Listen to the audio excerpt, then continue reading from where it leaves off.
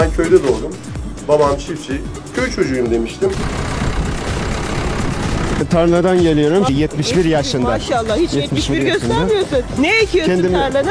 Buğday, arpa. Doğduğu günü annesi daha iyi hatırlar. Çünkü acısını o çekmiştir. İsmini siz mi koydunuz?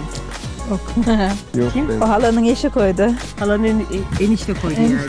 Evet. Niye öyle oldu? Kenan Part hayranıymış. Bir radyo olsun, bir cihaz olsun. Mutlaka onu söker dağıtırdı ama geri takmazdı. Öyle kalırdı. Deneme lisesine vermiştik. E, deneme lisesinde oradaki genelde okuyanlar iş adamların çocukları. Özel arabaları var. Yanında da birer kız. Bizimki de ona uymuş. Tabii ergenlik dönemi. Delikanlıyız.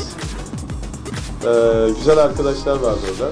Takdirname alan kişi bize 12 tane kırık getirdi. Bak bak bak bak. Ben- Çapkın ben- mı oldun yani? E, Çapkınlığı gizli olduğunu ben göremiyorum ama e, şeyden biliyorum. Evet, Notlardan E, anladım. notlardan anladım. Dersler ya iyi güzel de falan hani hayatta gidiyor falan ha arkadaşlar falan. Büyük oğlan da zaten iştahlı okudu yani teşvike gerek kalmadı.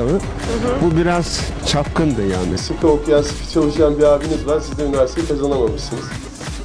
Ben kötü çocukum. Sonra babam iyi çocuk yapmak için beni köye aldı. Sen kızdın yani onu aldın buraya mı? Ben e, buraya aldım dedim ki sen de ceza gör bu binada çalışacaksın hayata anla. O zamanlar tabii ben çok kızıyordum babama. Ya bu kadar da olmaz diyordum. Yani üniversiteyi kazanamayan tek adam ben değilim ki. Ben biraz disiplinliydim çünkü o kendisi 9'a kadar yatardı çiftçilik yaptığım halde hadi falan traktör gitti sen daha yatıyorsun diye e, yani zorlardım ben. o zaman Çiftçiliğin bütün inceliklerini anlattı, öğretti bana. Zormuş. Yani özellikle babam tarafından anlatılınca bana araziyi verin.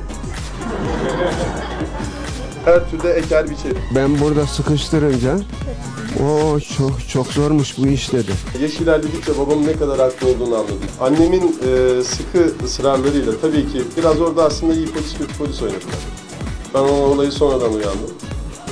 Zaten gönderecekmiş babam beni dershaneye. Disiplinle yetiştirdim. Büyüğünü küçüğünü bilir. Toplumda e, takdir ediyor. Sizden Allah razı olsun. İyi yönü olduğu için çok gu- gururluyum. E, kötü tabiatı yok, içkisi falan yok. Gece alışkanlığı yok. Ben kalbimi temiz tutarsam Rabbim bana hayırlısını verir diyorum. Traktörle e, tur eder, gezer. Köyün Gezmek. delikanlısı geldi diye kendini gösterir mi traktöre? E, gösterir.